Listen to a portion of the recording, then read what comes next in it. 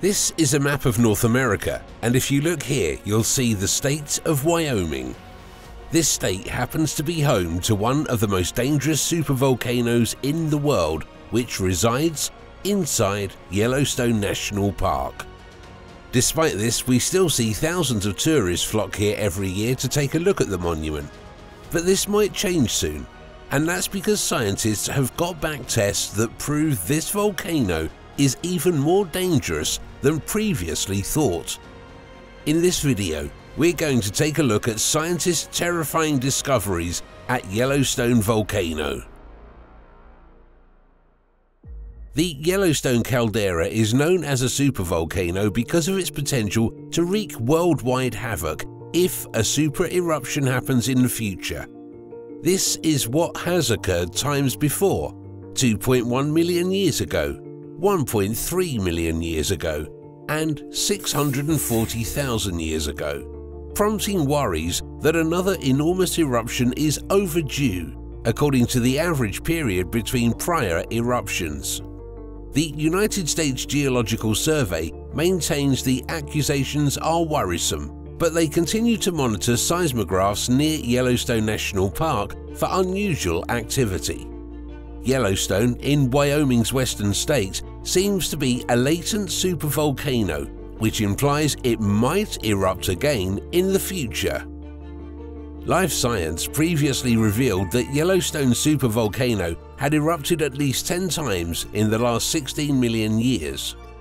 According to a 2017 research, the Yellowstone supervolcano may erupt sooner than initially assumed, although it'll most probably be a minor eruption. When supervolcanoes erupt, they leave a trail of ash that blankets the Earth and forms plumes of ash that can sometimes be thousands of meters thick. Because of the expulsion of lava, the explosion also creates a gigantic hole in the Earth known as a caldera, in a remark, co-author Dr. George Cooper of Cardiff University School of Earth and Environmental Sciences stated, Super eruptions can start literally with a bang and collapse of the chamber roof or begin gradually with hesitancy before escalating into catastrophic activity. Overall, the eruption can be rapid, uninterrupted events over a few days, or episodic sequence prolonged over decades. The uncertainty associated with these events, therefore, makes it very challenging to determine when and how these volcanoes may potentially erupt in the future. Hsin-Hua Huang, a study author and seismologist at the University of Utah, said, For the first time, we have imaged the continuous volcanic plumbing system under Yellowstone. That includes the upper crustal magma chamber we have seen previously plus a lower crustal magma reservoir that has never been imaged before, and that connects the upper chamber to the Yellowstone hotspot plume below. According to ScienceMag.com, the finding represents the missing link between both the plume and the magma chamber, as described by the geophysicist Peter Savelli.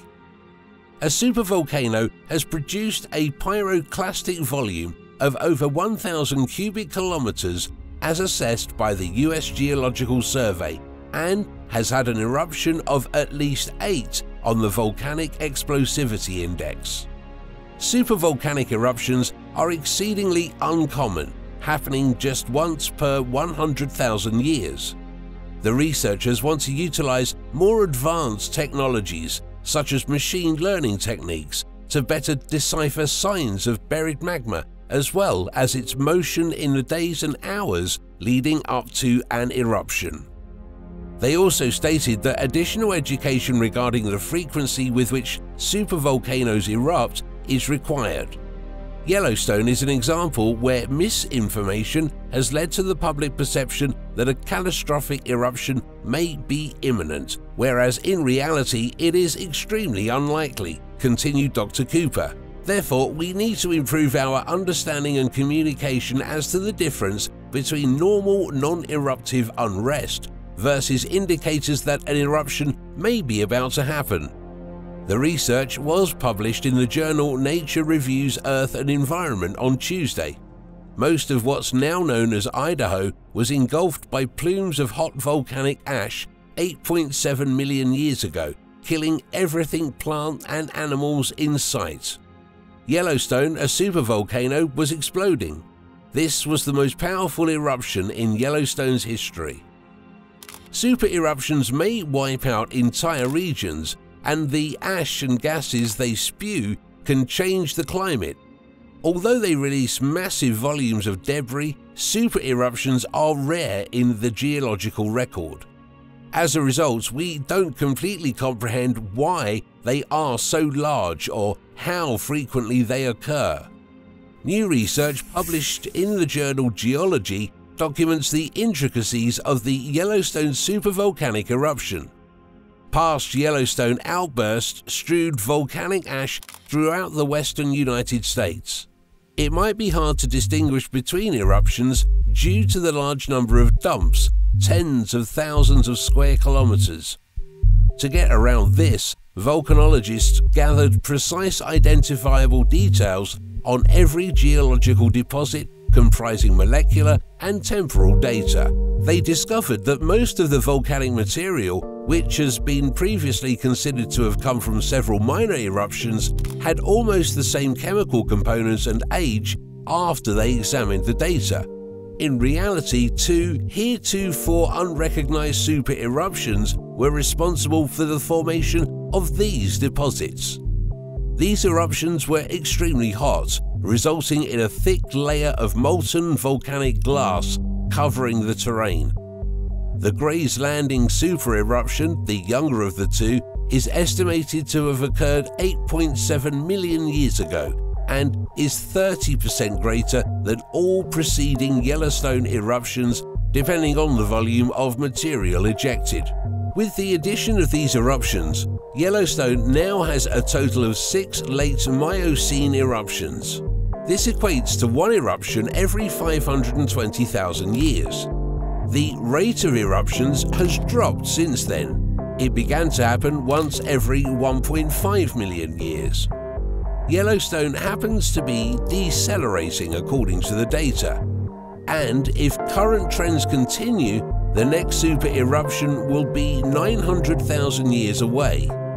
Forecasting eruptions are, however, a dangerous business.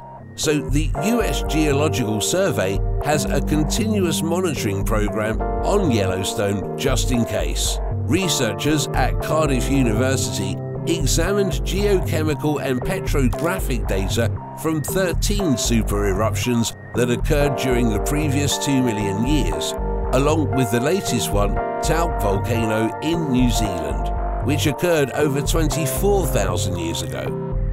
There seemed to be no single unified mode that demonstrated what each of the 13 events unfolded, including some beginning slowly throughout weeks or even months, and the others exploding quickly and brutally. The eruptions persisted for varying lengths of time, with some lasting only a few days or weeks, and others lasting decades, according to the researchers. The youngest Toba Tuff, which erupted 74,000 years ago, erupted practically quickly, according to the experts. On the other hand, the Oruanui eruption, which occurred around 25,000 years ago, slowly began before undergoing a caldera collapse and then advancing over many months. A super eruption would be a once-in-a-lifetime catastrophe that would alter the Earth and our culture forever. It's difficult to foresee the entire extent of the destruction, but there are some effects that are expected, such as a rapid drop in temperature. Colder temperatures might be the most far-reaching impact of a Yellowstone eruption. Sulfur gas may be injected into the high atmosphere by volcanoes, generating sulfuric acid aerosols that quickly spread over the world. Sulfuric aerosols, according to scientists, are the primary source of climatic cooling following an eruption. Aerosols in the Earth's atmosphere would disperse sunlight throughout the day, giving the sky the appearance of an overcast winter morning. Throughout the days following the eruption, the sky in Europe would become crimson. The BBC used historical data from the Toba supervolcano in Indonesia which erupted 74,000 years ago. as well as a computer simulation projection from the UK Met Office and the Max Planck Institute in Hamburg to estimate how the climate would be affected. A Yellowstone eruption, according to the experts, would release 2,000 million tons of sulfur 40 to 50 kilometers over the Earth's surface. It really would require two to three weeks for the ensuing sulfuric acid aerosols to blanket the world, causing catastrophic consequences.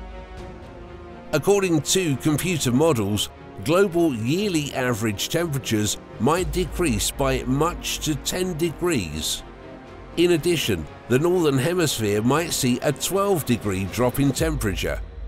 Colder temperatures, according to the experts, might endure 6 to 10 years before reverting to normal. According to the scientists, the monsoon will collapse as a result of even greater temperature shifts in the southern hemisphere, bringing catastrophic hunger in Asian countries that rely on such existing rains. The summer after the eruption might be at least 5 degrees colder across Europe. Given the scale of the eruption, the period of the year and a variety of other conditions, the repercussions of a Yellowstone super eruption may vary. Based on all the new research, we know that Yellowstone supervolcano will erupt again. We just have to hope it's not any time in the near future. It might be surprising, but Yellowstone isn't even the biggest volcanic threat to humanity. Make sure to click the video on your screen and I'll show you the underwater volcano that has scientists scrambling for answers. I'll see you there.